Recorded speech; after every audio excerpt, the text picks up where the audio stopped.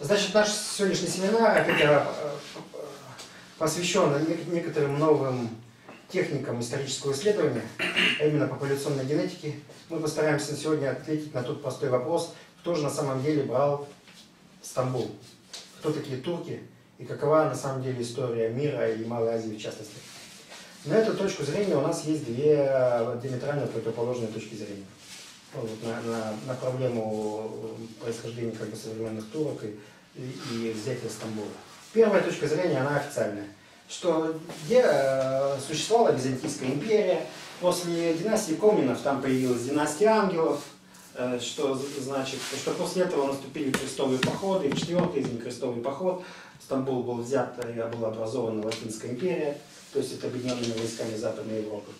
Э, патриархом стал Константинопольским, стал венецианец и так далее. И эта империя с 1203 года просуществовала на территории Стамбула, то есть Константинополя, еще до, 1000, до 1260 года. После этого византийцам, и конкретно Никейской империи, удалось отбить ее назад, обратно. Но в 1454 году, 53, 53 да, турки, турки сельджуки взяли Стамбул, и появилась атаманская порта. И она благополучно дожила до нашего времени по видам Турецкой современной республики. Вот такова э, одна точка зрения. Вторая точка зрения – это точка зрения новой хронологии, которая состоит в том, что э, на самом деле э, Стамбул действительно существовала после распятия Иисуса Комнина, действительно появилась война между двумя частями империями Э, восточной и западной, и действительно западная часть вначале побеждала, действительно появилась Латинская империя, но через некоторое время, достаточно долгий промежуток времени, русским, поскольку западная часть была, восточная часть была русской, удалось, удалось его отбить. И по большому счету турки э, современные, это как бы одно, один из двух центров одной глобальной империи. Первой частью была Москва, а второй частью был Константинополь и Стамбул. Поскольку, считает Фоменко с в свое время русские были двуязычны, то есть и, говорили на русском и на тюркском языке, то там победила как раз тюркская ветвь. Вот эту, вот эту гипотезу, которую мы должны иметь в, в, уме, чтобы понимать, что и как там происходило. Давайте посмотрим теперь на генетическую карту по гаплогруппам хромосомы наших современных турок. Тоже они такие. Давайте я его запишу. Значит, э, сразу же скажу, что по генетической карте видно, что никакой это не, не народ совершенно, а это конгломерат народов, и по большому счету он оформился как народ только в 20 веке. До этого это была совокупность народов, враждовавших в одной империи. В этом смысле они похожи на немцев, они в этом похожи на итальянцев, они в этом похожи на греков и так далее. Это все, грубо говоря, не народы, по большому счету. Это конгломерат по каким-то политическим мотивам, как правило, даже с воспроизводством некой фальшивой истории, которая служит основанием существования каждого народа, они так и появились. Но с другой стороны, мы знаем, народы действительно народы. Но народы это поляки, народы это русские, по большому счету. Народ это, безусловно, современные финны, потому что в основании их лежит одна доминирующая гаплогруппа игр хромосомы. Испанцы, португальцы, все это, грубо говоря, народы потому что у них доминирует явно одна гаплогруппа, одной гаплогруппа Y-хромосомы. Я напомню, что такое Y-хромосома. Мужчины отличаются от женщин тем, что а, у женщин две X-хромосомы, а у мужчины XY-хромосома. В результате, что родился мальчик, он должен получить э, хромосому от своего отца, то есть Y, вот эту самую хромосому. От матери он ее получить не может, у нее просто ее нету. И в этом смысле Y-хромосома постоянно передается от отца к сыну, от отца к сыну. И в результате это некий инвариант, который сохраняется. Э, для женщин таким аналогом выступает митохондриальная ДНК. Митохондриальная ДНК передается только от мамы. Все мы носим ни капли митохондриальной ДНК от своего отца ничего не несем, а все несем от своей, от своей, от своей матери. В этом смысле говорят о митохондриальной Еве. Поехали, значит, давайте. Игорь, извините, я сказать, что немцы тоже не попадают под ваши... Да, немцы... Не, да, немцы или немцы? Немцы, немцы. Немцы попадают, немцы народ. Немцев доминирует одна э, гаплогруппа, так называемая N1B. Да? Вот она у них сильным образом доминирует, и поэтому как бы они на самом деле народ.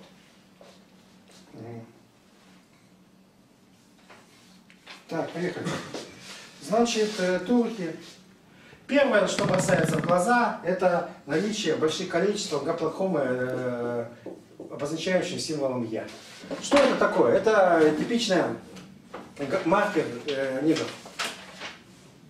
То есть негров, негров, Гвинео-Бисау, средне- сери- середина Африки.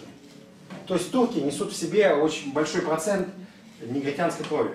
Это может показаться, может быть, странным, но я могу сказать, что у итальянцев он около 20%, его много у немцев, его много у греков, э, он встречается у каталонцев и так далее. По всему югу э, негритянской крови очень много. Вы будете смеяться, но у русских 0,4%. То есть 4% у нас имеют негритянские корни. Так, после этого Ай идет. Это балкано-скандинавская гаплогруппа. Что такое балкано-скандинавская? Ее много у каких-нибудь там герцеговинцев, сербов, хорватов поменьше чуть-чуть. Вот всех, которые на Балкане живут. И много ее у шведов и э, норвежцев. То есть э, я всегда говорил ситуацию клином. Такое ощущение, что было некое пространство, заполненное представителями этой гаплогруппы, которые потом раздвинули представителей другой гаплогруппы, которую я называю условно прорусской. Так, ай. Поехали. Так, турки, 0,14. 0,14. Дальше. Что, что еще как бы интересно? Дальше. J2 я называю. Вот ее 0,21. Что это такое? Максимальная ее концентрация достигает, как ни странно, практически у чеченцев. Ее очень много на Ближнем Востоке. То есть эта гаплогруппа характеризует всяких суд- иорданцев, э, ливанцев, бывает даже алгерских бе- берберов. И у нас ее на Кавказе она достаточно широко распространена. То есть, грубо говоря, на Кавказе дв- две основные гаплогруппы. Это первая G и вот это E2. Это G, G, J, J2, как ее правильно произнести-то? G. Если G, то это максимальное количество на у осетинов. Если вот это, то на максимальное количество у чеченцев. Это очень тоже забавно. Оказывается, что по большому счету кавказские народы можно разделить на две большие группы. У одних доминирует одна, у других доминирует вторая. Вот этот же, она больше, кроме как на Кавказе, нигде не встречается. Показательно, что турок ее нет совсем. По-моему, H2. Жи, жи, жи, жи, жи. Не, это G, а там H2, по H, по-моему. так. речь это Е, как бы, по-русски. Да? Да. А тогда А это вон Джей, Е, Джей, вон Е. по-английски то Джей. Я то Джей ее называю, да. Тут, тут, тут G, а тут J, да, J2. Теперь давайте проверим, значит, вот эту штуку. И, грубо говоря, вот этими тремя э, главными составляющими описывается турецкий этнос. Теперь давайте смотреть гаплогруппа второго порядка. Гаплогруппа второго порядка наша знаменитая R1. Как в смысле описывается турецкий этнос, это что? В смысле, вот Берутся современные турки, у них берется анализ крови. ну, три компонента, вот они в сумме составляют, значит, Сумма- 45%. Сум- сумма это не, не показатель. Это просто, ну, грубо говоря, это не, это не, не является их процент. Если у тебя, у тебя может быть, я так понимаю, что одновременно Е и И. Как-то вот так. То есть R1, ну, а не является Нет, ну, в смысле, 100%. ну тогда по-другому, что это вот эти гаплогруппы наиболее часто встречаются, значит, у Да, они наиболее часто встречаются. Эти гаплогруппы, они наиболее часто встречаются у турок. Почему я говорю, что они не являются э- этносом самостоятельным? Потому что давайте возьмем русских. Вот у него русских, вот R1, А1 или R2, или R1, А1, вот такая. Вот просто А и R1, R, видно, нет, R1, А1. Так они вот здесь порядка 45% достигают. 45%. Если вы возьмете, например, грубо говоря, евреев в их в этом, э, ну, самую верхушку, то есть от группе коинов выбираете, как в Ашкеназе, выбираете Ашкенази, потом у них коинов, а потом у них внутри левитов. Так у них русская хромосома достигает 65%. То есть это вот, они вот вообще стопроцентные русские получаются. Это очень много. Представляете, да, себе? Вы представляете негров Гвинео-Бисау, да? У них вот это Е 99,9 в периоде. Вот это народ. А это не народ. Это непонятный конгломерат турки. Так, а турки это у вас кто? Это жители современной Турции? Современные Турции, которые считают, которые считают себя турками.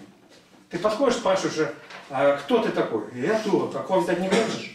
Ну хочу. Тогда мы получаем этот анализ. Ну а все там ливийцы, там суданцы и так далее, это не они, да? Не турки. Да, и суданцы не они, это Е в основном. А ливийцы, вот, э, ну ли- ливийцы тоже, там тоже очень много, сильная Е кон- концентрация. И вот этот G2. Ну, там есть еще другие интересные вещи, но я сегодня как бы не готов об этом говорить. R1A1. Э, Значит, его у турок здесь всего 0,02, 0,06 десятых процента. И еще, значит, что здесь еще оказывается? Не десятых процента, а процента, видимо. Процента, да, да, да. да. 2,6%. Да, 2,6%. Ну, значит, первое дело хочется сказать, вот он, вот он, русский след. А, Это кажется правдоподобным. Правда, оказывается, почему у русских вот эти гаплогруппы, они примерно равны, их концентрация, да, по 0,45 приблизительно. А здесь 2,6, то есть различается в три раза. Почему-то, как так, почему может быть такое? Что это странно, может это ошибка в измерении. И хочется действительно воскликнуть, русский, русский, русский, русский след. Я, кстати, совершенно непонятно, если вы избрали, откуда такой русский след у турок появился. Но это есть очень простое объяснение, относящееся к Фоменко, ни к Носовскому, ни кого-либо еще. Мы знаем, что у турок была пехота, элита, гвардия, янычары. А янычары это дети, э, дети славян. То есть это их отбирали у родителей в маленьком возрасте и воспитывали верности турецкому султану. Но славяне это какие? Это не русские, а это где-то сербы и хорваты. И э, можно определить, что оттуда сербы и хорваты, э, вот эта ру- русская гаплогруппа проник- проникла в турецкий этнос через янычар. Тоже можно предположить. Но посмотрим, что еще у них есть. Вот. Еще у них неожиданно оказывается, что у них есть такая гаплогруппа, как N1B, которая составляет 0,03. И N1, э, у меня тут неправильно обозначено C по видимости, вот, которая составляет 0,02. Что оно такое? Мы видим, что у вас N1B примерно равно, состоит даже больше, чем N1A. То есть вот этой самой странной какой-то гаплогруппы э, 3% крови э, оказывается. А у русских, например, если вы возьмете современных русских, то вы у них увидите, что она составляет порядка 1% от популяции. Вот для русских вот это интересно. И вот у нас возникает вот такая проблема, которую я называю проблемой гаплогруппы N1B, которая состоит, что откуда у современного турецкого этноса это финно-угорская гаплогруппа. Это N, это, это все финно-угры. N1C это, типа говоря, финская, она является третьей по значению в русском этносе. А вот N1B в русском этносе очень слаба и плохо представлена. Теперь нам надо постараться понять, кто же и каким образом мог притащить ее туда, на Ближний Восток. Кто мог ее притащить? Каким образом? Значит, нам, э, у кого она по большому счету активно встречается? Встречается она у немцев, у хантов, у манси, у дудмуртов. И очень достаточно много ее встречается у татар. Поэтому задачка эта решается очень просто. Нам надо найти какой-то этнос, который э, мог бы дать нам такое большое количество этой редкой аномальной гаплогруппы в турецком этносе, в свою очередь, клада, но который был бы тюркоговорящим. Ну, на мой взгляд, задачка эта решается э, однозначно. И, безусловно, это татары. Да? Кто же такие татары, опять с генетической точки зрения? Опять бросается в глаза, что это ни в коем случае, ну, не знаю, как это нарисовать, что, что татары это ни в коем случае не, не народ. Значит, поехали. Значит, Е, негритянская гаплогруппа, 0,04%. Ай, балкано-скандинавская, татарах. 18, ой, 0,18, вообще здесь надо написать. Дальше, вот она наша N1B, ее целых 0,21. Она главная, определяющая, собственно, татарский этнос, 0,21. Потом идет N1C, это которая вот э, наша. Она идет 0,13. То есть вы видите, Русская? не русская, а финская скорее, Ты финская. говоришь наша. А?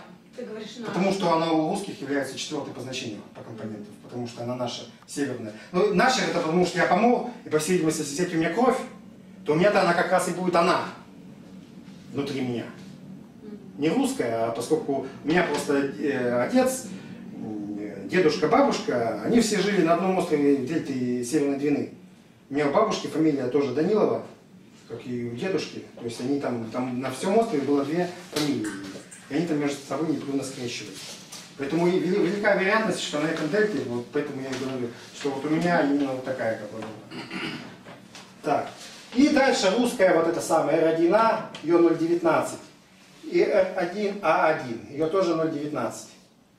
Вот, обратим внимание на большую концентрацию вот этой самой гаплогруппы N1B. Той самой история, которая была столь загадочно оказалась в крови турецкого народа. Притом я внимательно посмотрел все окрестные народы кругом, ни у кого ее нет. Совсем. А у турок она есть. И откуда она взялась? Это немцы, ханты, удмурты, манси и так далее. Это Как ты говоришь, извини, немцы или немцы? немцы, немцы. Сейчас, сейчас немцы. Ну, из ханты и мансия, кто их родственники? Ханты, манси, удмурты, Немцы. все возможные. Складывается такое впечатление, что... И что очень важно видеть? Мы, мы видим, что концентрация ее примерно такая же от русских гаплогрупп русских, 0,19, как, как и вот эта немецкая ханта-мансийская. Ханта-мансийская примерно такой же. Если мы вспомним кровь турецкого народа, который я только что рисовал, она примерно так она есть. Поэтому есть большое по- по- подозрение, приходящее у меня в полную уверенность, что Фоменко в этом смысле абсолютно не прав. Не русские во- во- войска, которых были татары, взяли Стамбул тогда, основали атаманскую пор- порту, а просто самые, что они из татары, без какой-либо капли примеси русских, взяли этот м, Стамбул, и это очень странно, потому что кто же это такие? Коми, ханты, манси? А, Нет. сейчас, извини, а там, видишь, для татар характерна какая? Для татар никакая не характерна, но больше всего вот это наши самые загадочные на 1Б, которые мы неожиданно обнаружили в крови, в крови турок. Не, не обнаружили рядом ни у какого народа, где мы его обнаружили. Она для кого характерна еще? Ханты, манси, ненцы, удмурты, э, и их там больше гораздо. Ну и, разумеется, у татар больше всего. В смысле, а у татар сколько какой? 0,21. 0,21 у татар. Да, а у да. турок сколько ее? А у турок 0,03. М. Ну так а я вот, честно говоря, не понимаю рассуждения. А что из-за этих трех процентов вы, так сказать, всю это, ну, всю математику разводите? Ну что, ну 3% это, во-первых, может быть и точность измерений, а может быть... Да нет, 3% это выше гораздо точности измерения, это достоверно установленный факт. А почему? Когда мы видим в крови какого-то народа, вдруг обнаруживаем какую-то постороннюю совершенно гаплогруппу, мы начинаем интересоваться, откуда она там взялась.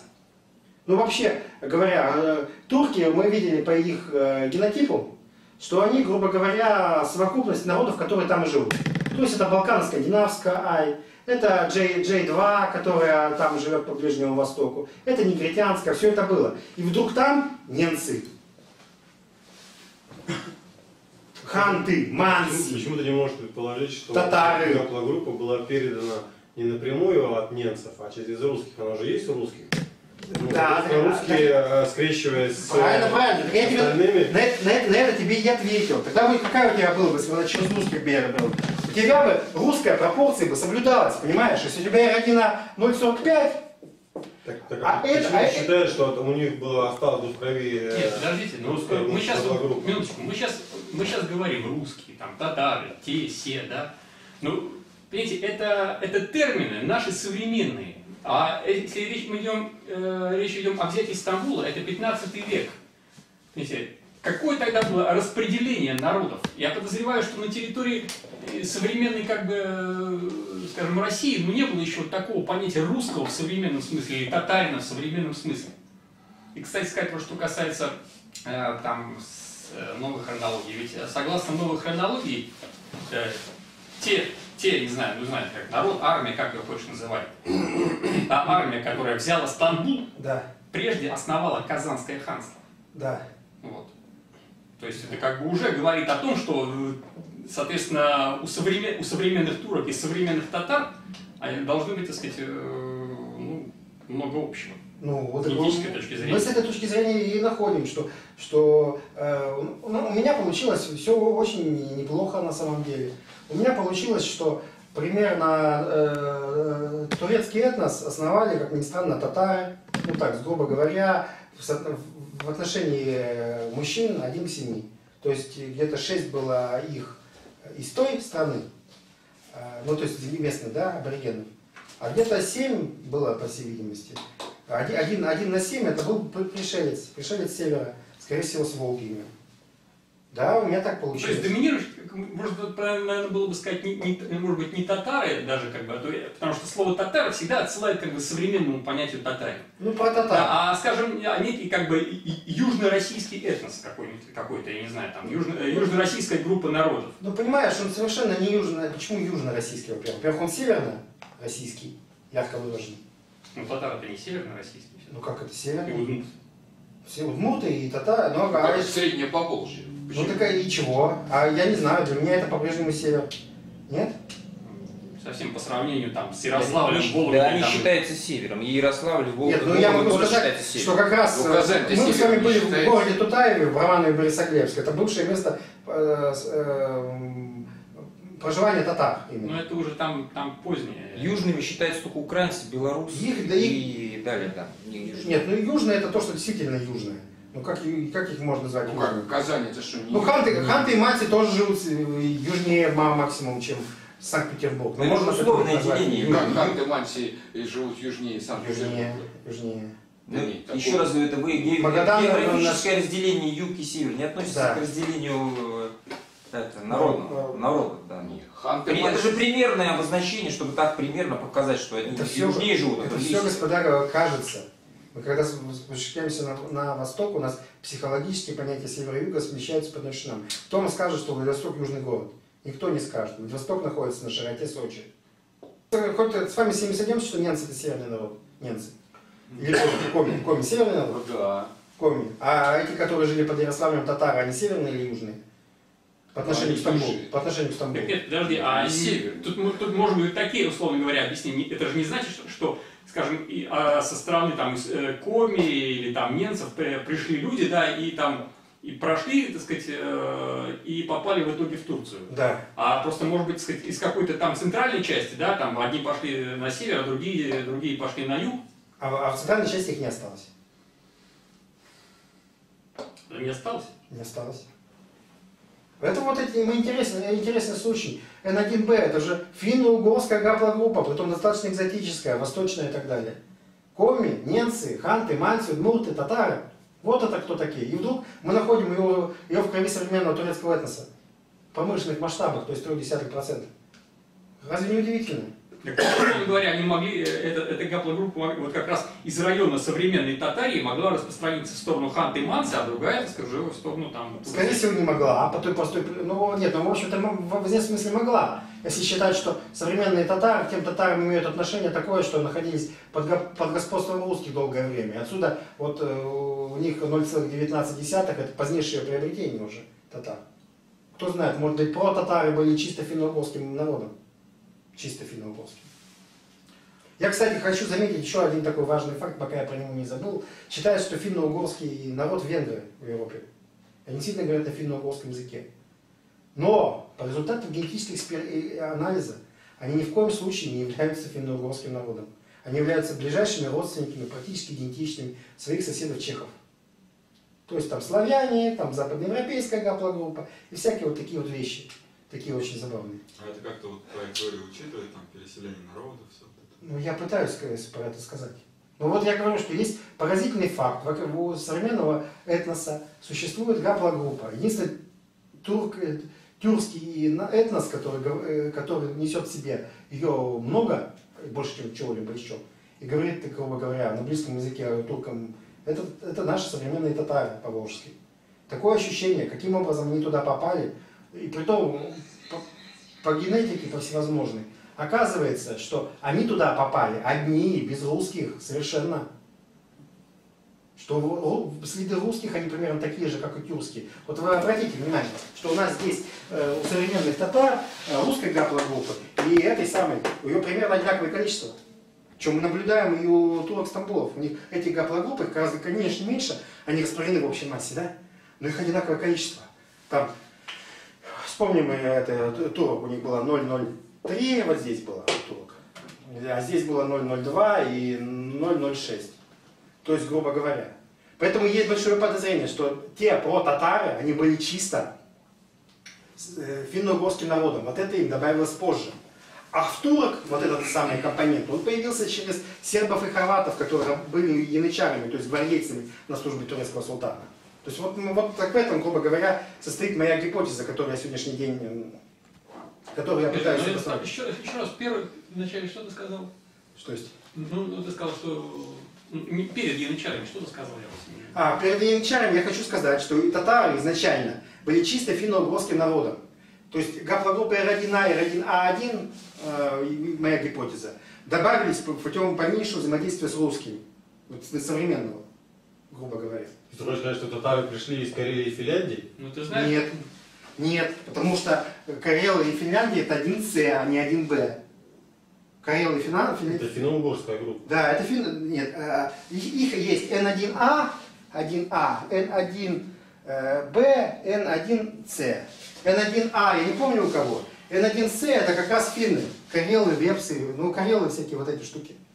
А у русских, N1, у современных русских N1A и N1B как представлены? N- N- N1B, N1C ты хочешь сказать? Ну, может быть, и не знаю. Э, Так, у русских они вот, э, чтобы полностью сказать, значит, э, вот это N1C 0,16, 16%. 0,16, 16%, да. А N1B, вот это самое, который у татар 0,21, у русских 1%. Мгм. То есть 21 раз меньше. Если бы русские брали бы Стамбул и русские бы основали эту штуку, у них было бы со- соотношение вот это примерно бы сохранилось. У них N1B было бы очень мало. А у них NAB как у татар. В такой же пропорции, пропорции находится к R1A1. А если мы берем еще сербов и хорватов, которые были янычарами, которые притащили себе эту габловую представляете, да? Себе притащили. И что получается? Какая-то странная история у нас получается. На что они похожи? Что, что мужественные ханты, свирепые мантии, э, умные немцы, что вообще смешно само по себе и так далее. Взяли когда-то, спустились вниз по Волге, прошли через Крым, захватили, э, это, грубо говоря, э, Стамбул, основали одну из величайших империй в, этой в, истории человечества и дали и даже привезли им собственный язык. Я думаю, что как раз наоборот, как раз и это завоевание, видимо, пошло, так сказать, и как раз из, из того района, где примерно там, где вот современная Казань, э, Ну. а, э, а генетику Ханты Мансы, скорее, скорее все-таки наоборот. Из, из этого района э, пошли гены, так сказать, в сторону Ханты, Мансы, там, немцы. То есть на север, да? Да. И на север, и на юг, да? Просто если было бы это так, то тогда просто у хантов и манси это самое э, выражено гораздо больше, чем у татар. Она 60-70% достигает. То есть они в этом смысле народ, в отличие от татар. Кто достигает них 67? 70% N1B. То есть они народ, в отличие от татар. Ханты и манси это народы, в отличие от татар. Татары это конгломерат, грубо говоря. Мы, мы видим, да, что Балкано-Скандинавской, потом вот этот э, Каре- Карело-Финской, гру- грубо говоря, это немецко-ханто-мансийской и русской, все их примерно одно и то же. Условно говоря, к ним попал, допустим, какая-то гаплогруппа, поскольку они жили достаточно как бы изолированно, а там очень большой процент приобрела. Не знаю, я не знаю. Это я не готов отвечать. Но э, это, смотрите, господа, чего это позволяет такая точка зрения на воскрешить? Она позволяет воскресить идею татаро-монгольского ига. Обратили внимание, да? В прямом смысле. Возродить? Возродить татары, и, казалось бы, полностью скомпрометированы, в том числе и генетикой, и идея татаро-монгольского ига. Ну, как это? А у монгол, кстати, что там творится? У монгол ничего подобного. У них там свои О, у них свои С, С у них С и О. Ничего, мы, они, они не герои наши. Это О и С. Китайское О и монгольское С, гаплогруппа. Они не наши герои. Их здесь нет. И они здесь есть у казахов. казахов. Тогда получается, что и не было татарского. Монгольского не было. Татарское было, блин. Ну да. Получается, что монгольского не было, а татарское было. Просто не там ищем. Там ис- исход, это того надо искать. У свирепых ханты, манси кого-то еще. То есть тоже на востоке, по большому счету. Но на северо-востоке. То есть получается, что действительно э, определенное время на Руси очень похоже на то, что царствовали реально, грубо грубо говоря, татары, то есть татарские князья. Потом произошел известного рода катаклизм какой-то. И татары из господствующего группы, притом э, люди были исключительно боеспособны, они в результате взяли Стамбул и основали там одну из величайших империй в истории человечества. Именно один, вот это N1B на это показывает. А потом произошел какой-то катаклизм. То ли все боеспособные люди ушли э, на юг, то ли еще как-то. Но получилось, что татары оказались э, в подчиненном неком положении, начали, нач- начали активно э, разбавляться окрестными народами, в первую очередь русским этносом. Ну и дошли до того самого стадии.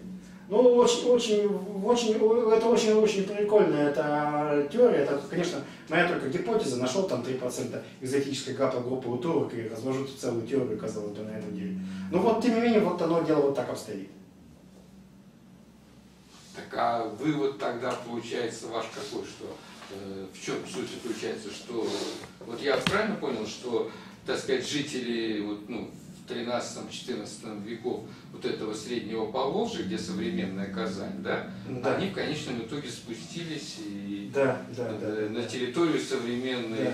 Турции, в том числе вот на территорию и взяли современный город Стамбул. Да, да, да. И именно они основали как бы, в качестве завоевателей, в качестве верхушки, начали господствовать над местными этносами основали, грубо говоря, турецкий народ, который к 20 веку вот, принял вот такой своеобразный А в генетический. результате этого, так сказать, ну, похода или как завоевания, само вот это, ну, центральное, так сказать, откуда они шли, там, ну, вот, допустим, Казанская там земля, да, назовем ее, она, значит, как бы угасла, да, или Да, потеряла? но угасло, да, но буквально, в буквальном смысле да. М, Такой еще момент важный.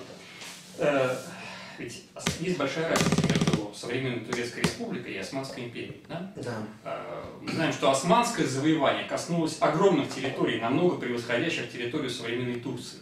И поэтому, если бы, условно говоря, шел некий народ да, с севера, там, откуда-то, пройдя там, через там, современную Татарию, там, Крым и как бы вторгнувшись так сказать, в территорию современной Турции и в другие страны, так сказать, если, если бы это было так, то, соответственно, тогда и на территории там, современной Югославии, Чехии, Венгрии, э, вот это вот вот эти вот ханты-мансийские гаплогруппы должны быть очень широко представлены. А так Вот это они не представлены. Ответ, они не представлены. Они полностью не представлены на Кавказе. Можно еще раз повторить, что я не уловил логику. Что, нет, они должны быть широко представлены, эти исследования. И в других областях, подвергнувшихся турецкому, э, османскому завоеванию. Ну вот ответ, ответ, что они не представлены. А не могло ли быть так? Ведь смотри, вот условно говоря, шло, шло завоевание османское, армия состояла из действительно очень большой группы народ- народов, то есть она очень многонациональная была по своему составу. А когда территории были завоеваны, их, их, грубо говоря, начали делить. Мгм.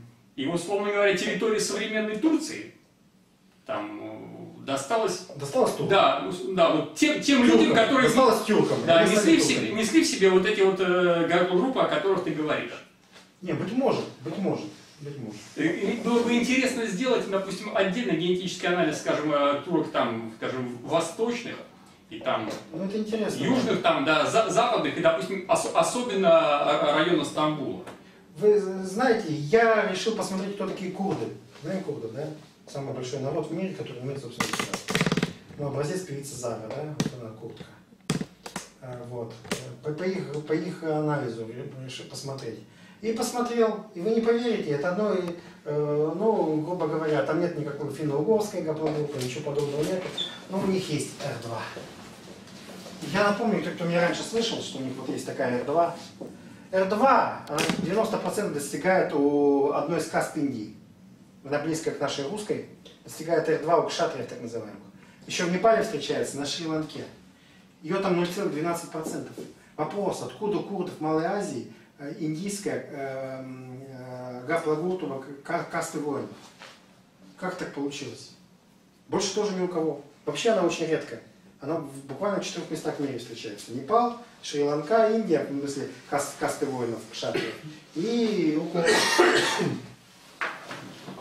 Знаете, мне кажется, что вот ваша теория, и что Стас рассуждал, что это как-то не... со- Мы современное представление о современной войне, когда передвигаются 100-тысячные или миллионные армии, вы, значит, стали переносить то, что было там 7 или 8 веков тому назад. Ну и, так сказать, а было ли разве, разве 7-8 веков назад передвижение там 100-тысячной или миллионной армии? Да, это правильное замечание, потому что сколько э, Венецианская республика предоставила для крестоносцев четвертый крестовый поход местным королям? А 33 тысячи всего. Сколько? 33 тысячи. А это была одна из самых больших армий, считалось. 33 тысячи? 33 тысячи. 33 Да тысячи. нет, ну это сказка. 33 лодки может быть. Ну как там корабли? Какой корабли-то? Да. Само понятие И, и тысячи. я, я хочу сказать еще тоже, заметить это то, что Место корабля, не корабли, а 33 тысячи человек. А, Для перевозки 33 тысяч человек. ну 33 тысячи это не 330 и не 3 миллиона. Да, конечно. И мы видим, опять, как ни странно, в крови современных турок западноевропейской гаплогруппы полное отсутствие всякого присутствия, ее нету. А знаете, у кого вот там на Ближнем Востоке она есть? Она есть в крови у грузин, и примерно столько же, сколько у русских, это то где-то по районе 4%. Ну, а 4% русских я объясняю только тем, что, грубо говоря, русские долгое время были завоеваны западноевропейской немецкой династией Гольштейн-Гатопов. Тогда немцев было много на Руси, и вот эти 0,4% сюда и нанесли. нанесли. 4% или Да, 4? 4, 4 процента. Да, 4 сотых от популяции и 4, 4 процента. Я только этим могу это объяснить, как бы, грубо говоря. До татар почти не дошло. Но у нас есть удивительный народ один. Если кто-то хочет э, узнать, как выглядит э, русский европеец, то он должен ехать под Уфу и посмотреть на башкир. Башкиры западноевропейскую гаплогруппу почему-то несут с вероятностью около трех десятых. 30%? 30%. Как так получилось, непонятно. А те же венгры, которые финно-угры, которые не имеют в себе ни капли финно-угрской крови. А татары не несут? Татары не несут нифига совсем. Ну, может, там какие-то уже десятые процента. Они не несут. Это удивительно. То есть башкиры и, например, татары это принципиально два разных народа. Ну, я бы хотел несколько замечаний мето- методологического характера сделать. Просто здесь как бы постоянно звучала такая спекуляция, что как бы с отдельной гапологруппой связан какой-то народ. Это немного странно, потому что вообще говоря, понятие народ, оно возникает довольно поздно, и основа его не, не является какого рода род. Основой его является язык, общая территория.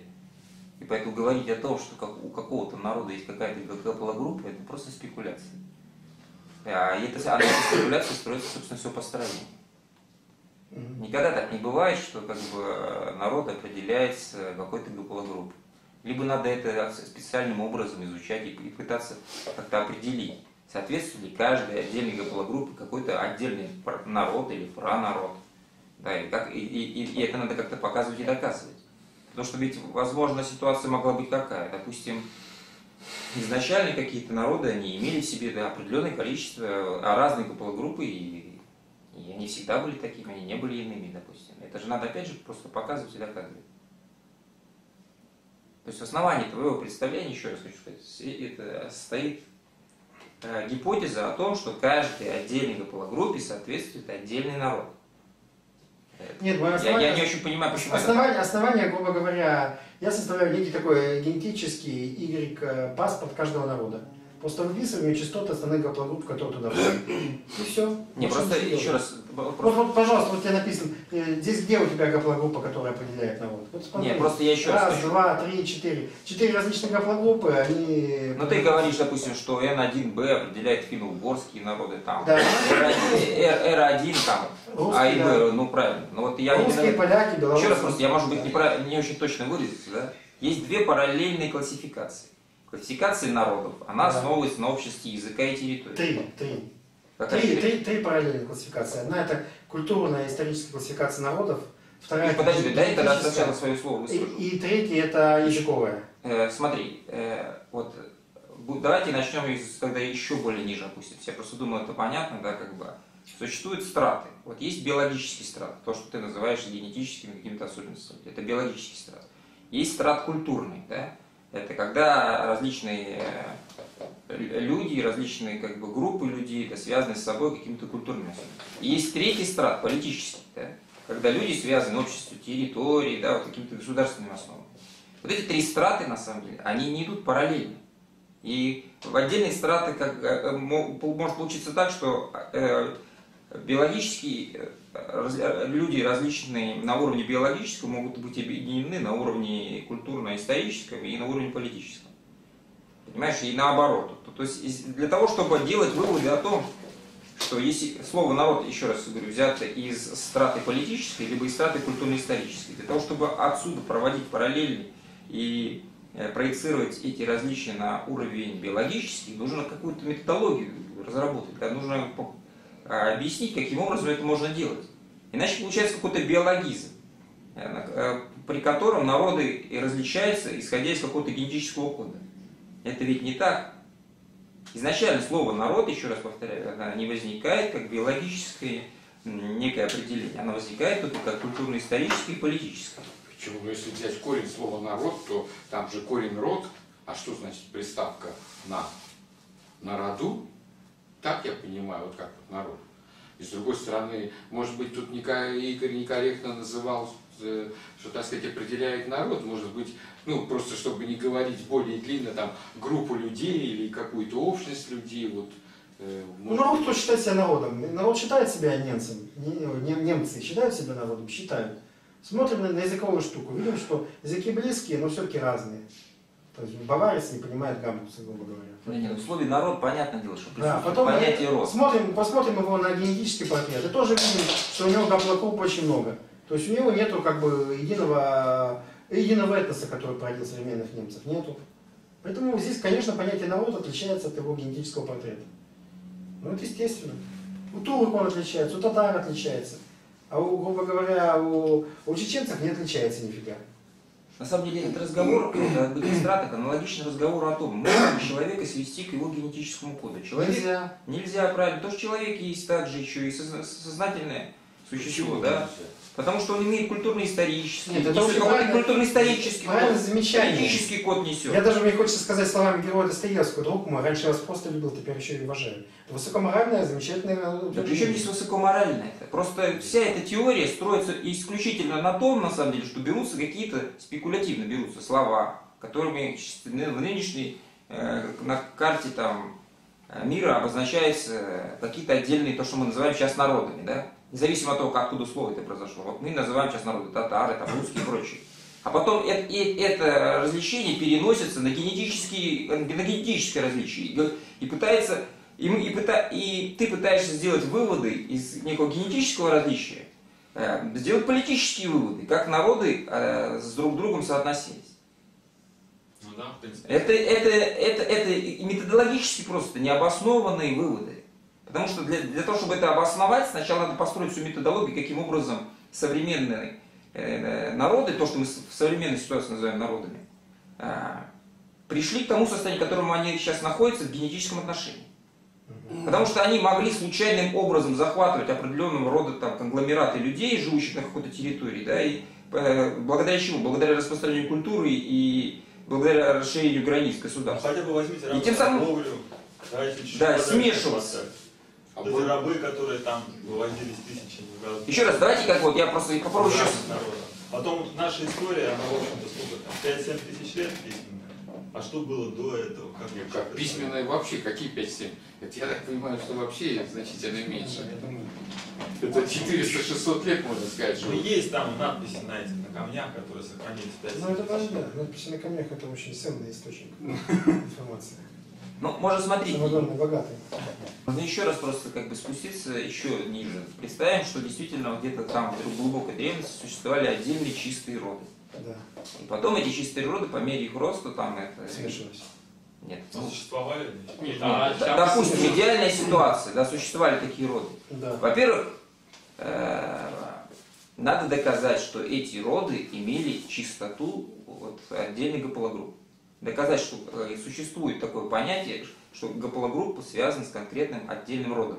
А не получается ли так, что, вот, например, та гаплогруппа, которая нарисована сейчас на доске, ну я примерно говорю, да, соответствует какому-то одному роду? Ну, Просто да, и всегда, и всегда соответствовал. Всегда соответствует, да. Не, допустим. Такое же может случиться? Ну, ну, так оно и есть, соответствует одному роду, правильно.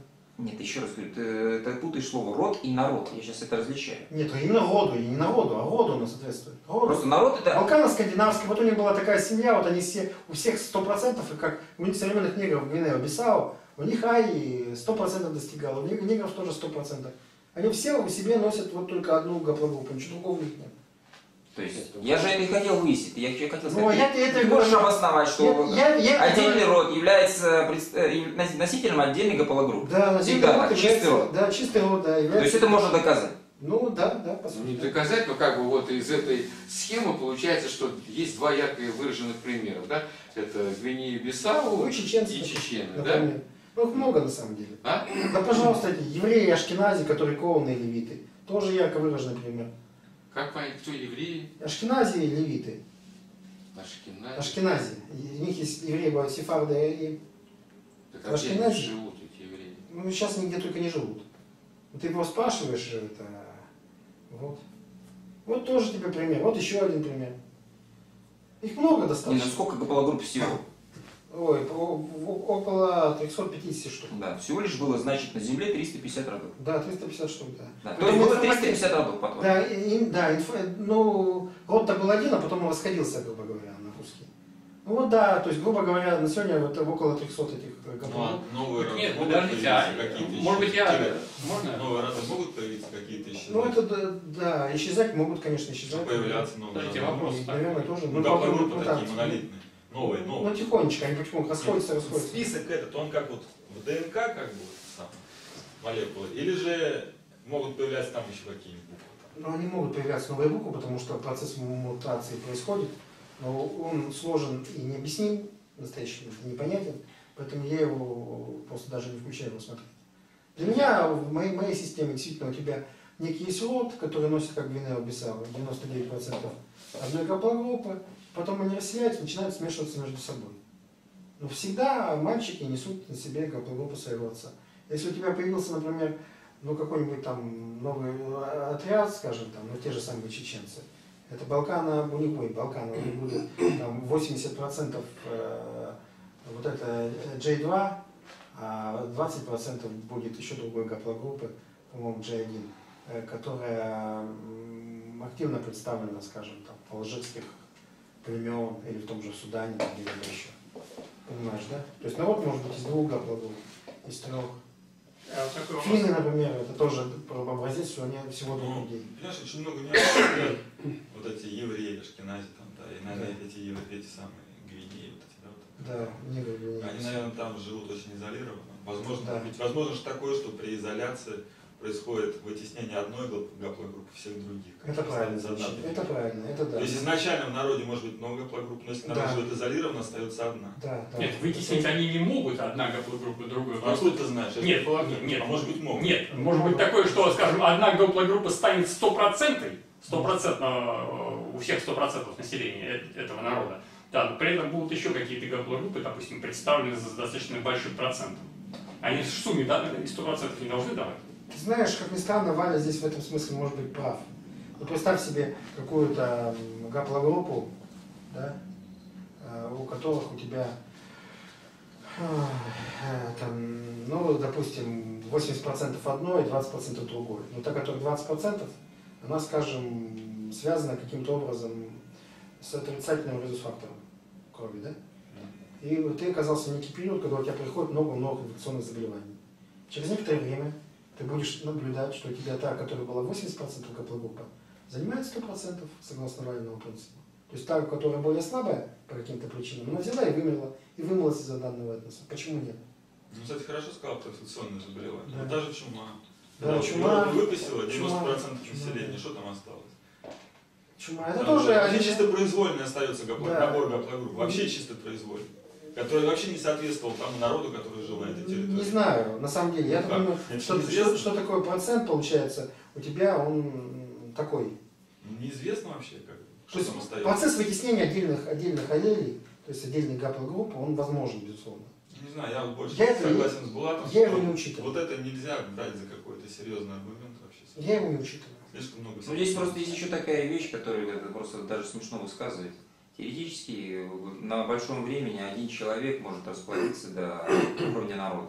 Да, может. Правильно. И поэтому не- можно обсуждать это не в уровне каких-то завоеваний, а просто какой-то человек поселился на какой-то территории, просто с другого народа. То ли он сбежал, то ли он попал в кораблекрушение там и пристал к какому-то острову, то ли еще что-то в этом роде там, да? Ну, ну, да. То ли его взяли, знаете, в древнее время очень было э, распространено, ам, когда сыновей из чужих семей как бы делали, э, ну, когда, за- э, это как назывался там?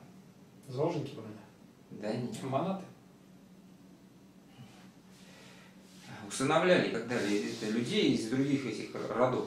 Ну, такое было очень распространено, не, не, совсем не обязательно, как что сыновья, допустим, каких-то там правителей или вообще даже в любой семье возникало, можно было усыновить просто сына из другого рода. И в этом ничего особенного зазорного не было. И это опять же, если этот человек усыновленный будет жить в достаточно хороших условиях, он может точно так же Ну, породить нам. да это понятно, что у тебя... Это означает, что просто у тебя в чем тут проблема? Проблема состоит в том, что ты это момент случайности вообще не рассматриваешь. А в истории ты сам понимаешь, что в силу того, что мы живем в- это, в стихии Ну, я да. природы, эта случайность, она на самом деле фундаментальна. Я его не рассчитываю, не рассчитываю, потому что народы достаточно большие. Народы Ну, я большие. тебе объясняю, на больших промежутках любой один человек может человек. расплодиться до уровня народа. Может, теоретически. И, и наверняка это случается.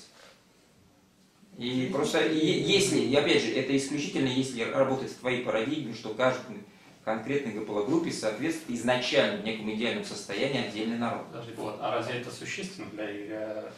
Конечно, существенно. А как иначе он определяет, что та- именно татары что-то там захватили? Нет, нет, а допустим, условно говоря, ведь Это, Может- я, я понимаю твою мысль, что просто приехал какой-то случайно татарин и расположился. Подождите, можно Я это рассуждать так, но Нет, не, я не это хотел сказать. Я хотел сказать, что на самом деле то, что вот та- татары представлены такой гаплогруппой, означает просто, что на этой территории это, жило много родов. И они как-то там смешивались там и постепенно образовали то, что называется народ. подожди, можно я Понимаешь? Смотри, Причем, подожди, я просто договорю, что причем народ определяется, никто про генетику ничего не знал. Народ определяется культур, общими культурными э, признаками, да, там, э, единство языка, единство территории и прочее, единство культуры, там, допустим, единство религии, опять же, и прочее. Да. И все. Так Просто уже- разные, ро- э, разные рода, там, они жили на одной территории, стали народом. подожди, ну вот допустим, если Игорь говорит, что у турок современных там э, очень мало, к примеру, там э, э, русской гапло- русских гаплогрупп, да? Но еще раз говорю, нельзя так говорить. Нет Да. никаких русских гаплогрупп. Ну, подожди, я сейчас договорю. Это, это просто может означать э, то, что э, э, значит, у современных русских и современных турок не может быть одного предка, не может быть одного народа предка. Вот. И для этого утверждения, мне кажется, совершенно не важно, так сказать, соответствует... Подожди. А, а- а где у тебя методология-то? А если 350 гаплогрупп, как- изначально идеальное состояние, где каждой гаплогруппе соответствует свой народ, у них есть один единый предок? Они как это, со звезды прилетели, что ли, какой-то там, Альдебаран? Есть, ну да, есть поэтому дерево. Нет, а я ты как раз- нет, я 350. как раз хочу сказать, что совершенно не обязательно, что каждому, э, это самое, каждому гаплогруппе соответствует как свой род. Ну, я не знаю, Игорь просто высказал эту идею. У него получается, что изначально есть идеальное некое состояние, где каждой Да. гаплогруппе Для соответствует твоих выводов разве это важно? Не очень.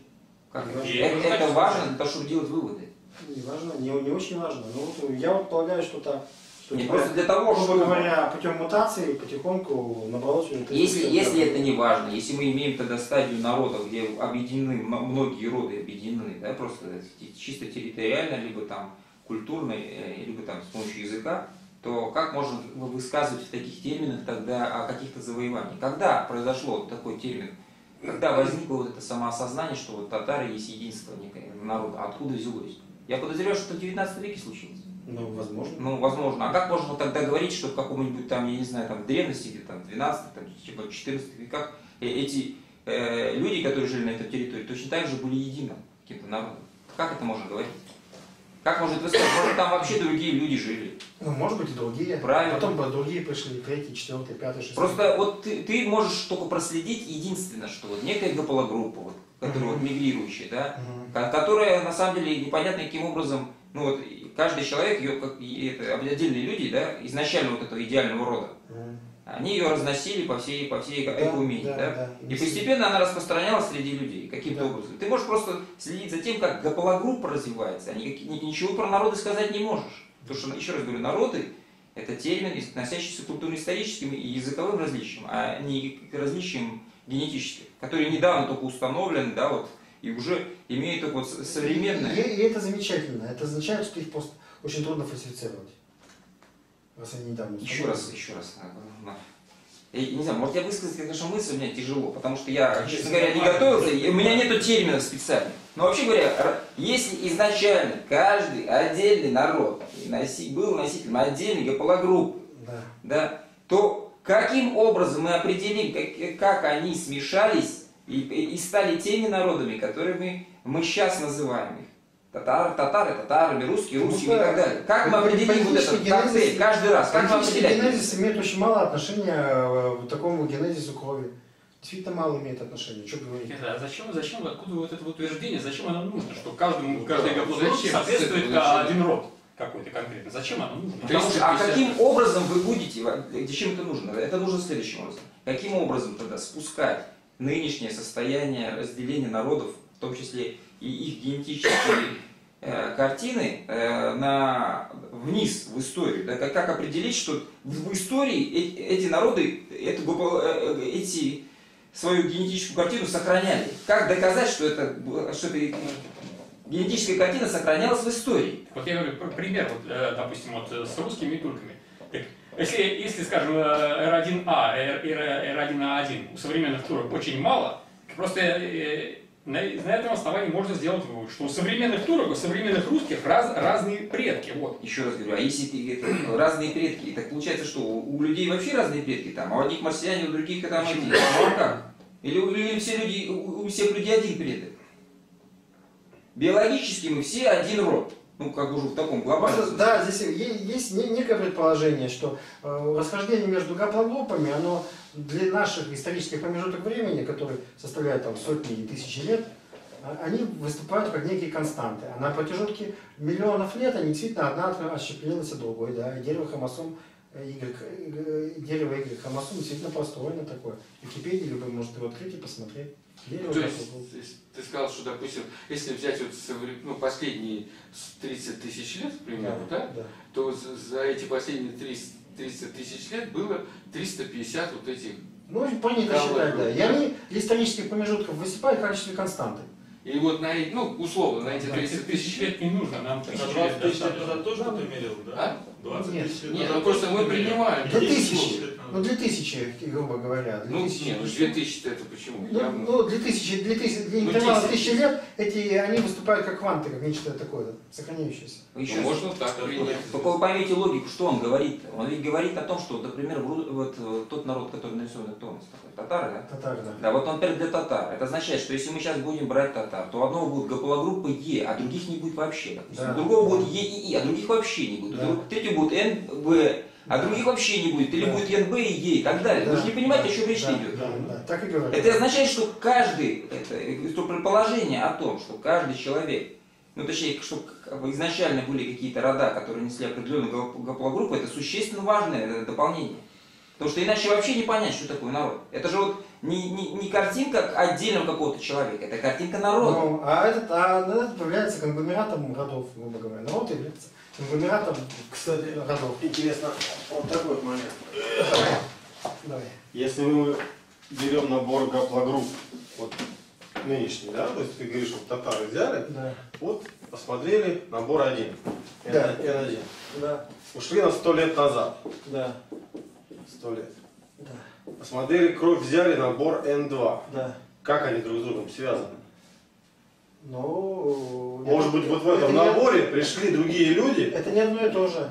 пришли другие люди, и набор-то один. Один род захерел, сюда пришли, другой род, уже род. было влияние вот здесь другого народа.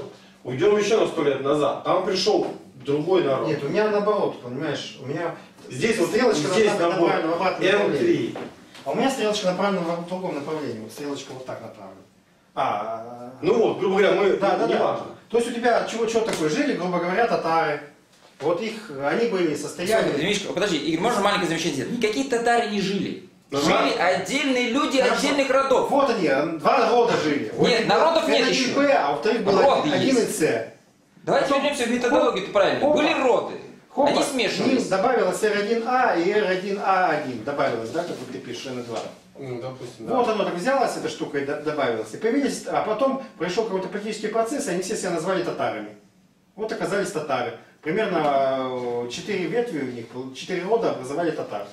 Правильно, ну то татарами они в 19 веке стали. А Да, ты пытаешься про татар говорить в отношении к завоеванию Стамбула. Хорошо, я говорю про русских и про, про, про у меня термин про русские и про татар. Еще раз говорю, ну это же Вот словесная набор, игра. это у тебя нынешний. Словесная Хорошо, скажем, Это набор нынешний набор. да, это нынешний Так народ. если мы вернемся на 300 лет назад, там вообще вот, эти, вот этих вот вообще может быть не было там. Вот этих не было, скорее всего. Или этих не было, неважно. Не было. Вот этих не важно. Если этих не не было. то как А ты эти на, на основании нынешних данных ты говоришь о том, что 300 лет назад, определил? 300 лет назад, Их не было, эти были, как, как там? откуда ты скажешь, 300 лет А назад... можно снизить? было- Броуновское движение, что такое слышал? Да. Ну, а тебе не кажется, что в отношении отдельных людей оно как бы тоже так, точно так же работает? А, это. А, а- А движение, знаешь, как это? Что могут быть такие процессы, на самом деле, где-то Не обязательно же они с- это стихийно. Они могут быть как-то направлены. Допустим, один род вымирает, а другой Нет, я с подрастает. тобой согласен, что через некоторое время, благодаря Броуновскому движению, никаких народов не останется, и всех у них будет какой-то там э, набор своих, все они будут случайно перемешаны.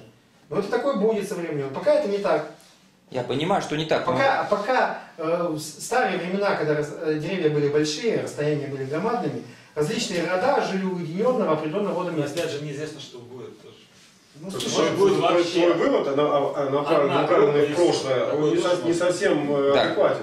Я вот и хотел, Ну, я, я ну, пытался именно это же сказать. Замечательно. что пытался сказать? Что Ну, я и пытался сказать, что поскольку вот та картина, которая сейчас нарисована в современности, а в прошлом она каждый раз изменялась. Да. В силу того, что я говорю, что объединение, это не только роды объединялись действительно биологически, но это нижний уровень, а они также объединялись еще и политически, там, и культурно, и объединялись совершенно раз- немыслимым образом. Допустим, Ну, случайно. На, на Волге, допустим, вдруг появилось мусульманство, да? Да. И сразу же они отделились тем самым от э, христианских, да, от христианских родов, ну, естественным образом. Получ- Мусульмане с мусульманами, христиане с христианами, да? Да. Ну, и еще какие-то там процессы происходили. Про государство вдруг возникло какое-нибудь Да. там. Ну, то есть, если бы они... И тебя- сразу внутри государства как бы свои процессы пошли. Если бы у тебя внутри родов ничего не было, вот я бы тогда э, православных э, Поволжья и, и, и мусульман Поволжья, генетическая карта была примерно одна и та же. Была бы. Как у сербов и хорватов. Одни католики, другие православные. Но с генетической точки зрения, блин, один народ. И с точки зрения языка один народ. Еще раз, вот ты опять э, пока постоянно как бы занимаешься спекуляцией. Нет никакого понятия пока народ. Народ понятие современное. Группа, он группой. Он, ну, без слова народ подставь слово группа. Он говорит группа. Группа людей. Ну, Ну как- сербы и хорваты народы же? Еще раз, это понятие сейчас это оно при- приобрело именно политическую окраску имеет и культурную. А то, что ты пытаешься в истории говорить, она имеет, значит, ты же пытаешься на генетическом уровне говорить. Это Да. совсем другой, другой масштаб. И, и, допустим, на той же на территории той же там а, это, балканских государств, там же государства постоянно там делились так, делились иначе, там постоянно границы перекраивались. И, соответственно, как бы и народы там перемешивались. И, Ну. се- и те, кто называли себя сербами сейчас, потом в другое время называли, непонятно, как они называли себя, да, там. Ну, что? И поэтому нельзя переносить современные названия на, э, на те... эм, и, и- и с точки зрения современных названий делать выводы э, это, вы- исторические, да, что какой-то отдельный народ, что ты, там можешь, завоевал. ты можешь генетическую карту современного серба составить? Современного серба, не серба, а современного конгломерата Серба. людей, Понял? которые называют себя сербами. Да, ну я это называю сербами. Люди, которые, конгломерат людей, которые называют себя сербами, я называю сербским народом. Я объясняю почему. Потому что он об- объединен и культурно, и политически. Ну понятно, ты взял, взял 10 тысяч человек, взял у них кровь, посмотрел, какие у них гаплогруппы. Да, а если... Ну это твой, твой метод. Это все Я взял, понятно. взял, посмотрел, я Это увидел. все понятно, только, только сохраняется ли эта константа во времени? Об этом надо думать. Вот я предложил эту штуку, когда она не сохраняется. Тем не менее, какую-то правдоподобную... Если константа не сохраняется, то из, из того, что ты сейчас имеешь, нельзя делать выводы исторические, глобальные. Можно. Сначала надо методологию разработать, каким образом вообще рода двигаются во времени. Ну, разработал. Например, я, как я поэтому пытался предложить эту с- систему вот, идеальных родов, да, где каждой группе Ну, соответствует один род, и как-то они двигаются. Тем не менее, нормально. Ну вот так и получилось. Что действительно, да, татары, вот они произошли. Но у них сильная компонента N1B. Эта сильная компонента есть одновременно ее присутствии у турок. И отсюда я делаю широко, далеко идущие выводы. Да, точно так же это N1B, ты сказал, есть у кого там, у немцев. У немцев, у хантов. Да, может быть, все-таки это, это Ханты и Манси захватили? Ну, я, а я тебе о чем говорю, что мужественные ханты, героические манси и очень умные, высокоразвитые немцы захватили Стамбул. Я тебе это и говорю. Еще вот Ну, и- и- и- это же выглядит смешно. И Почему? Удмурты на боевых мамонтах, да? А почему? А чё, а чё, что, почему так плохо думаешь о хантах, манси и немцах? Немцы, да. Не говоря уже о татарах. Во-первых, когда И коми. в древ- Да, комикс. мое представление о древности, что все-таки границы не такие жесткие были, и какие-то отдельные рода могли переезжать и перемещаться. Ну, вы А зачем? А? Зачем? В поисках Я же объясняю. Ну, во-первых, Ну, можно так просто очень, очень просто. объяснять. Жил себе в этом, на берегу Северного Ледовитого океана, потом захотел, захотел и переехал в Стамбул. Зачем? Захотел. А местные жители как тебе рады стали от этого. Люди по разным причинам мигрируют. Они мигрируют это потому, что их преследуют, они мигрируют, потому что они там это, по- по- поехали в путешествие, да, и как бы корабль потерпел крушение, и они там остались где-то непонятно где. Да? ну, Да, а или покупцы поехали закупать товары, как бы их там захватили в плен, а потом как-то там они обжились там и стали жить. Или там подружился с каким-то другим народом, как бы вместе с этим народом ушел. Потом. Ну, собственно, если там взять миллионы и существует причин, по которым люди, так сказать, и по миру курсируют. Да, ну это, ну я полагаю, что Нет, ну, такие даже если взять такой источник, как Библия, в чем тебе не нравится вот Ветхий Завет, там Сколько там народу постоянно от мигрирует? одного человека происходит целый народ, как бы, Ну, а что, нормально? а другие народы просто перестают быть вообще. Да, нормально. Ну, тут гаплогруппа вообще никак не работает. Думаешь? Я думаю, что народы постоянно народ мигрируют произошел от одного патриарха, то вот его гаплогруппу ты будешь всю жизнь таскать с собой. Весь народ у тебя, как чеченцы или как Нигер Гвинея Бисау, будут таскать себе одну и ту же самую гаплогруппу. Вот это увидишь. Возьмешь руку, хоблик, ты от одного патриарха, все у тебя произошло, оказывается. Почему? Народ... Не, подожди, да слово народ пока убери. Есть только род пока. Давайте Если начнем это с народ, этого. это же Народ, народ это политическое. Дети, это женщины, дети, мужчины, они будут выходить замуж, жениться на других женщинах и мужчинах, с другими гаплогруппами. Ну что там, какой там будет замес, одному Богу известно вообще. Это совершенно непредсказуемо. Это если у тебя какая-то семья Потом вот Они Булашев обитаемый очень четко сказал, вот случай, в данном случае фундаментально, если мы рассматриваем исторический процесс. Это потом, когда жесткий... Нет, тут вот что-то, ты надо добавить, что ты хочешь сказать. Надо добавить то, что потом со, временем образовались государства, жесткие границы, паспортная система, там как бы са- самоосознание там народа, да, вот, культурная привязка к какой-то религии, к, к конкретной территории, к конкретному языку, и постепенно это образовалось то, что мы называем современным языком народ. Допустим, я как бы вроде татарин, там, а другой русский, а осознает себя. Но это случилось очень поздно. Понимаешь? А до этого я принадлежал, условно говоря, ну, допустим, были какие-то там вятичи были там, да, там, да, какой-то деревне принадлежал, да, какой-то своему роду. А почему вы просто не допускаете такую мысль, что просто классификация появилась довольно-таки поздно, а так сказать, до этой классификации было, люди жили и все. А люди-то жили, но мы же сейчас Ну, пытаемся... хорошо. Ну ладно, еще Говорить кто-то о еще генетике. другое, ну, хочется я еще хотел сказать, что вот, как э, Влад говорил, какие-то какие там купцы куда-то поехали, кого-то там в плен захватили, кого-то в рабство. Такие эффекты не могут не- нести никакого существенного влияния на, не на генетику и народов. Да. Вот это вот я же объяснял, что про методологию. Это надо все доказывать. Я тоже могу сказать. Я могу сказать наоборот, сказать, что так что-нибудь другое сказать, что такого не может быть. Откуда негры взялись в Соединенных Штатах Америки?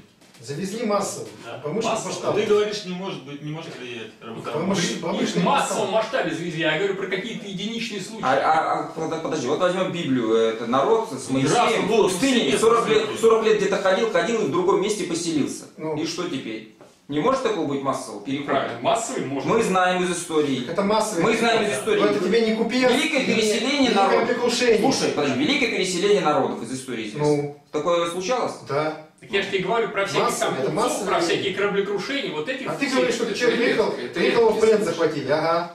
Вот тебе на, геноф... на генофон никакого Нет, я, же, я еще раз сказал, на больших и временных промежутках. Конечно, на маленьких временных промежутках это значения не имеет. На больших временных на каких? промежутках Потому что за, за большой временной промежуток, естественно, и э, как ты сам говоришь, что, так сказать, было там постоянное движение родов, так сказать, его генетический материал, он растворится за счет этого движения. Как он растворится, если мы, ты опять же не понимаешь, о чем ты говоришь. Каждый, вот это, каждая гаплогруппа, это может быть отдельный человек. Что там, в чем растворится-то она? Ну ладно, чем? хорошо. Ну все, Ну, да, да. А кто эти гаплогруппы открыл, когда и на основании чего? Значит, я пользуюсь, если набираете генофонд, такой ну, проект, фи- финансируемый у нас даже э, нашими государственными структурами, где люди на этом сайте собирают эти базы данных по всевозможного рода исследований. Есть же программа Когда открыли ДНК «Геном человека». и начали разбирать, да, да, геном человека в том числе здесь Да, тоже да. имеет отношение. А когда открыли ДНК, автоматически они поняли суть X и Y хромосомы, и там появились гаплогруппы. Когда ДНК это после Второй мировой войны? Да, после Второй мировой войны. Сколько там? Уотсон, Крик, кто там еще? М? Во время, по-моему, войны, ну это не важно. Уотсон, Крик и так далее, да. Это кто кто-нибудь? Ну, открывать его кто там. Уотсон, Уотсон, Крик, Уилкинс. вот, вот, эти. Точнее, не- не открыли не ДНК, а открыли пространственную структуру ДНК. А гаплогруппа это что? Это какая-то характеристика ДНК? Значит, бывают э, двойные, э, когда хромосомы все парные, а бывают гапла, то есть единичные гапла. Вот гапла единичные имеют отношение только к двум, к двум типам ДНК у нас в организме. Это киблик хромосом, она потому что всегда одна, она не парная, половые хромосомы не парные. а, э, И митохондриальная ДНК, она тоже не парная. Давайте только проясним еще ситуацию. Тут э, это, это, Стас выразил такое мнение, Ну, что Уже, уже, уже ситуацию. гаплогруппы, это может потом выделить, гаплогруппы растворяются. Вот если я носитель гаплогруппы Е, и все мои сыновья будут носителями Е, и все сыновья моих сыновей будут носителями Е, и все сыновья моих сыновей и так Правильно. далее. Она в общем э, массе народа растворяется. И непонятно. Если я, допустим, э, это владелец гарема, у меня 100 жен, Да я имею хорошее положение в обществе, там, у меня есть возможность прокормить моих Право, право детей, первой ночи, да. право первой Право ночи и так далее. Ты в нас не думаешь, что это, это не такая случайность, которую можно Вот право первой ночи это не случайность, это процедура завоевания одного народа другим.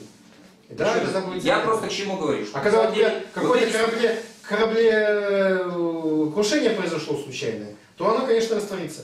Еще раз говорю, я говорю, ну как она растворится? Я уже объяснил, не может она раствориться. Если я это все мои сыновья будут носителями ее, и все, все, потомки, которые про- произойдут от меня, будут носить ее. И, в принципе, получается, я могу стать родоначальником определенного рода рода. На больших промежутках это, это влияние может быть. Ну, они А сколько людей родится за это время? Ну как у муравьев? Я представляю Еще раз говорю, если я, допустим, Я занимаюсь... представляю твою ситуацию, как у некоторых видов муравьев, которые сами муравейники не строят, у них самка вылетела, бабац, полетела оплодотворенная такая, и нашла другой муравейник другого вида. Туда поселилась, убила ту самку, и начинает откладывать, собственно, яйца, а за нее эти, эти штуки ее делают. В результате через время там происходит смена вида муравьев, и один вид муравьев сменяет другой.